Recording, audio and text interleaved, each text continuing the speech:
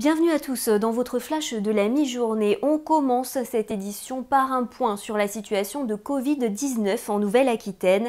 88 nouveaux cas confirmés de Covid-19 ont été recensés sur la journée du 29 mars, ce qui porte désormais le total à 1608 cas confirmés de Covid-19 dans la région depuis le début de l'épidémie.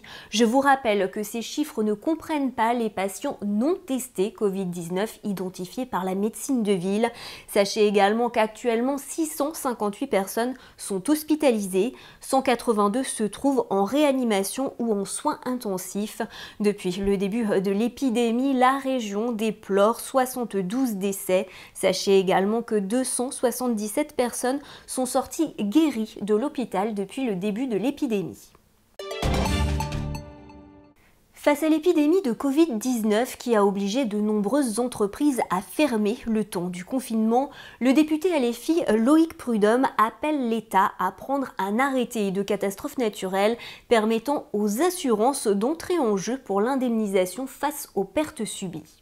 Euh, face euh, à cette catastrophe, euh, qui du coup est une catastrophe naturelle, puisque euh, de nombreux professionnels, du coup, euh, s'assurent pour ces catastrophes naturelles. Euh, ça mettrait les assureurs qui réalisent, d'après ce que j'ai pu regarder, un chiffre d'affaires de plus de 220 milliards d'euros par an dans notre pays, bah, d'avoir la solidarité qu'ils doivent avoir.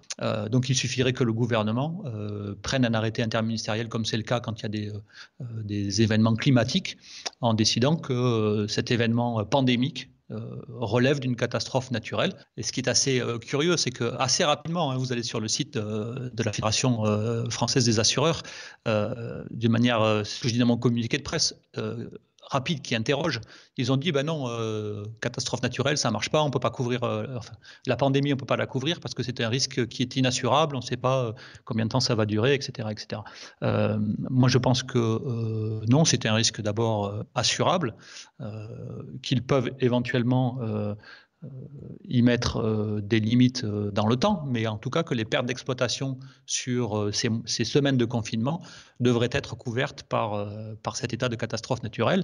Et je rappelle aussi, parce que les assureurs oublient de le mentionner, les assureurs sont eux-mêmes assurés auprès de compagnies de réassurance, qui sont des compagnies mondiales, et qui, et qui réassurent le risque des assureurs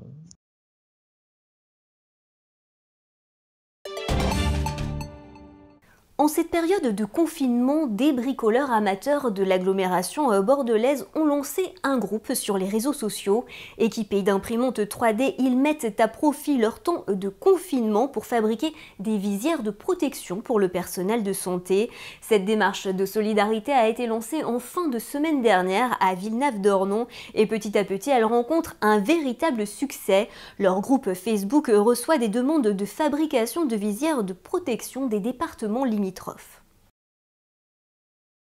une visière qui va se placer, voilà, je vous la montre ici, qui va se placer euh, sur, la tête, et qui, va être sur laquelle on va venir apposer une feuille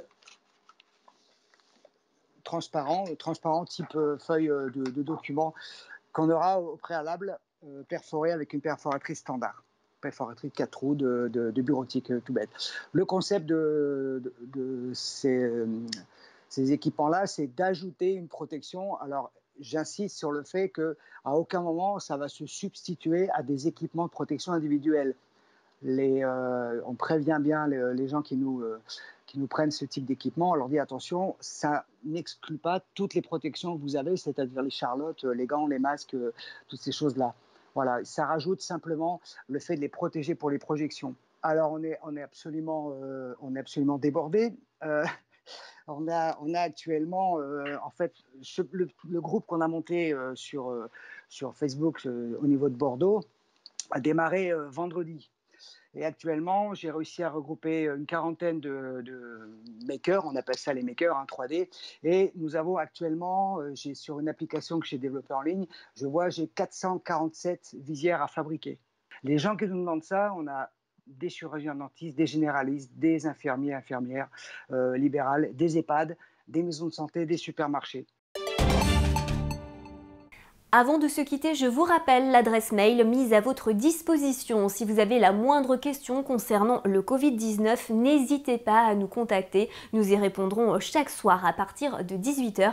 C'est la fin de ce flash. On se retrouve un peu plus tard dans l'après-midi pour un nouveau point sur l'actualité en Nouvelle-Aquitaine.